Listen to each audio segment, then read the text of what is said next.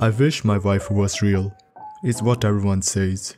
Well, don't worry about it, as a philosophical essay has finally broken the code. Calm down, calm down. I know you are excited about your waifu coming to reality.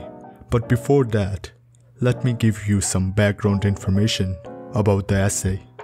It was written by a philosophical professor, Neil Sinhababu, who considers himself to be a very lonely guy. Consequently, he wrote this paper to prove that even he has a lover from another possible world. This essay is called The Possible Girls, as it is based on the philosophy of modal realism. This philosophy was founded by David Lewis, who argued that all the possible worlds are as real as the actual world. The actual world is the one which we currently inhabit, while possible worlds are which we might not inhabit. For example, there could be a world where Donald Trump got re-elected as a president. Um, it is better that I exist in this world instead. So this idea might sound closer to the multiverse theory, but the multiverse exists in one possible world. Thus this fact distinguishes modal realism from the multiverse theory. Now finally coming to the philosophical paper, Sinhababu describes himself as a lonely philosopher.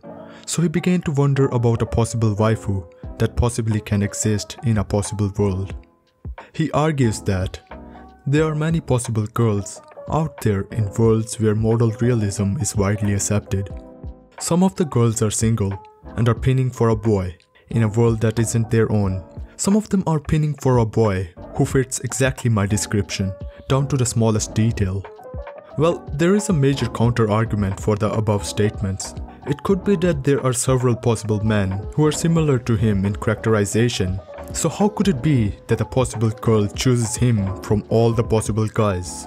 Well, Sinhababu is determined to show that his one true love can differentiate him from all the possible guys.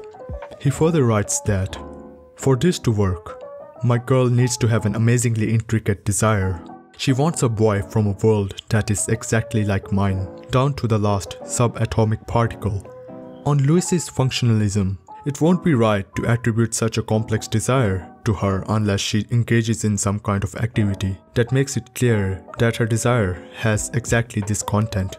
It might take a long time for her to finish the activity, but that can be provided for. Perhaps she's immortal with eternally youthful beauty, spending each day singing out every fact about my world that differs from hers. Sinhababu has clarified how the possible girl will choose him. But now another problem arises. How could he distinguish this girl? Because he cannot apply the same method as singing an eternal song. Because Sinhababu is no immortal. Well, he provides a solution in the form of an alphabetical stipulation where he states all the properties of his waifu, including how hot and smaxy she is. Again, the explanation itself is better in his own words. He says, to end up with only one girl from the ring, I can stipulate that the girl I want is the one from the world that is picked out by the set of sentences that would come first if all of these sets were put in alphabetical order. I will call this the alphabetical stipulation. So what now? What is the point of distinguishing a possible girl when you cannot even communicate with her?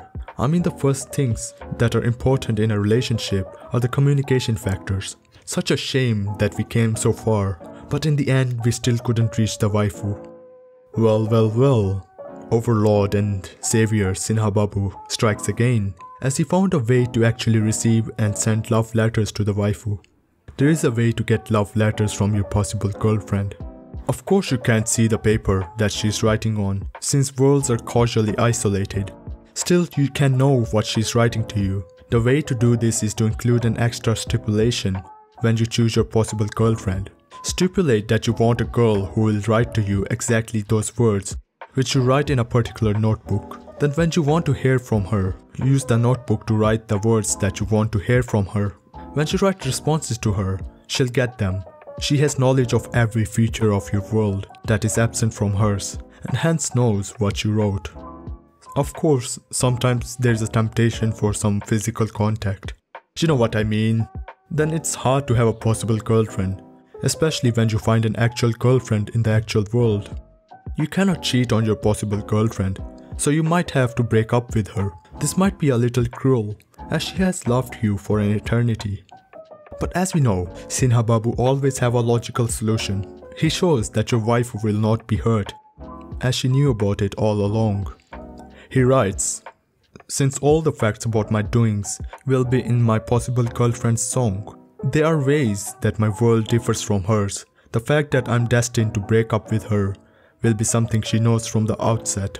She could have chosen a more permanent boyfriend from among my counterparts.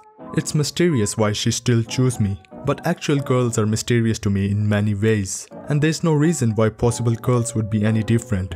In all seriousness though, this essay was written to investigate modal realism. It can also be seen as a reduction to absurdity of this philosophy. You can read the essay yourself, as it is a short and humorous read. I'll put the link below. Anyhow, the argument supporting the existence of our waifus ends here, but I don't see a reason to end the relationship your precious waifus over dating a real girl, as they don't cost anything other than your love, and they will always stay with you forever.